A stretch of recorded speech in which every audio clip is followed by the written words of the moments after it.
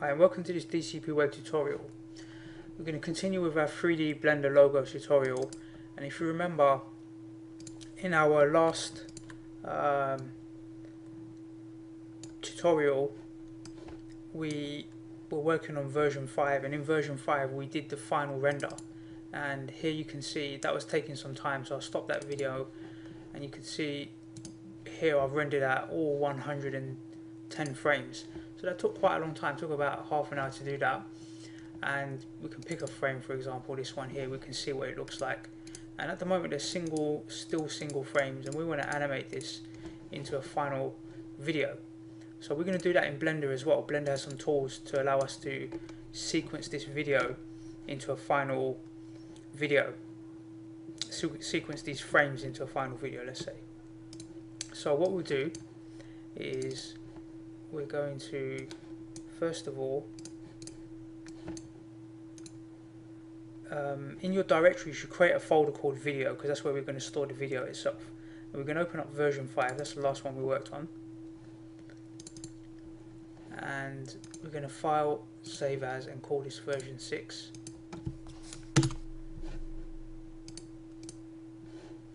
and we can just shrink this window down a little bit here make the viewport a bit bigger here.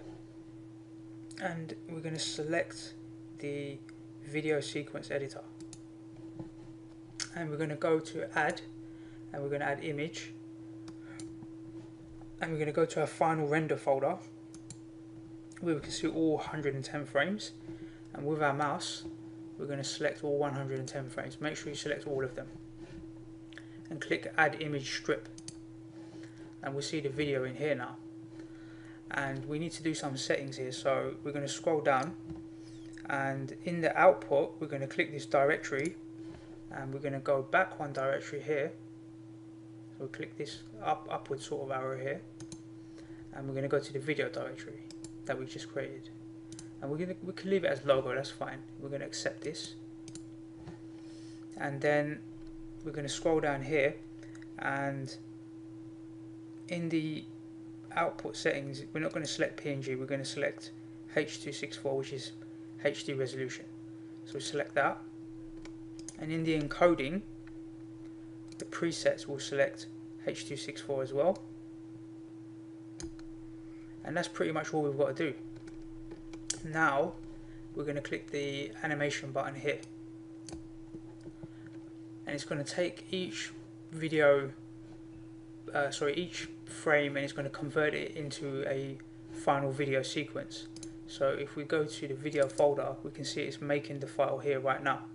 So it's only a few kilobytes in file size but that will increase to you know a few megabytes once it's finished. That's going to take some time so uh, we have to be a bit patient. We can just see the progress here. It's on frame 11 and it needs to do 110 frames in total. But let's um, let me just explain why we in theory what we could have done is we could have um, skipped the last process. We didn't have to exactly render out each frame separate as a separate image. We could have just created this video straight away by using these settings here. We didn't have to create the PNG file sequence but there's a good reason to do the PNG file sequence.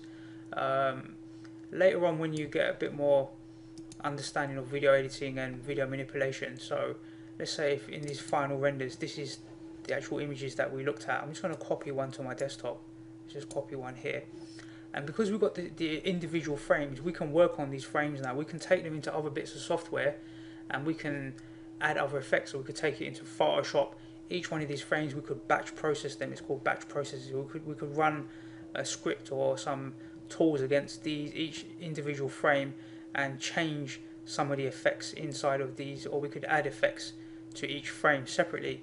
So just as a quick example, while we're waiting for that video to sequence, if I were to open up uh, GIMP editing software, I've done a tutorial on this, you can find it on my YouTube uh, about GIMP.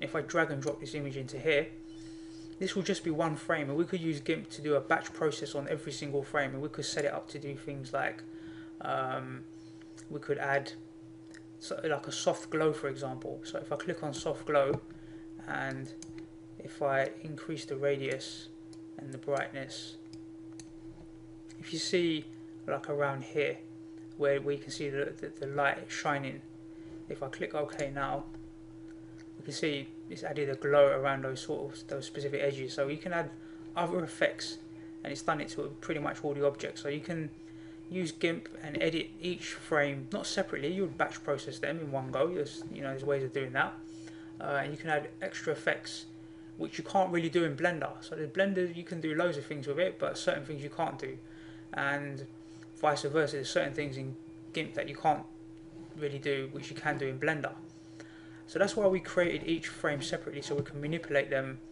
um, using other bits of software rather than just creating the video at the end straight away. So you can play around with these filters. Uh, you should really learn about GIMP a bit more, especially batch processing if you want to do, because you don't want to add these filters to every single frame. You've got 110 of them, so it will take you a long time to do that, but you can batch process them all in one go um, and add these effects to them. So just wanted to explain why we created separate still frames um, before we created the final video sequence itself. So let's close down GIMP, we don't really need this anymore. And that was frame 21, let's just make sure that's still that frame's still in there, so that's fine, we can delete this, we don't need this. And let's see where where we are in this sequence. So we're in about frame 70, so it's going to take maybe a, maybe a couple more minutes for it to do the full render, but we'll just wait for that and then we can see the final video playing frame by frame in, in the actual video sequence itself rather than as still frames. So it'll take a little bit of time. Um, you know, if you've got some free time, you want to learn more about Blender, then there's loads more tutorials on YouTube you can go and check out. I've, I've learned quite a lot from YouTube myself, so do go and have a look at YouTube and type in Blender tutorials and you'll find lots and lots of tutorials.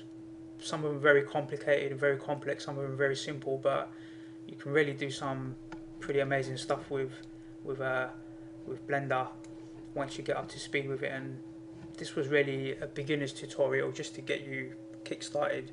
So please go and have a look at YouTube and find some more great tutorials there. You can also check out Blender's website where you'll find a lot of information about Blender and how to use it. And there's a manual as well. So you can go onto uh, Blender's website and download the manual, which is quite techy, but uh, you can get a lot of useful information from there. I read a, read a bit of that manual as well, and I found some useful information in there as well. So we're not that far away from finishing. We've, we've already got 15 more frames to go through, so we'll just wait for that to happen. You can see the progress bar up here, how much is left to do, and you can also see it's on frame 99 of 110, so just 10 more frames to go.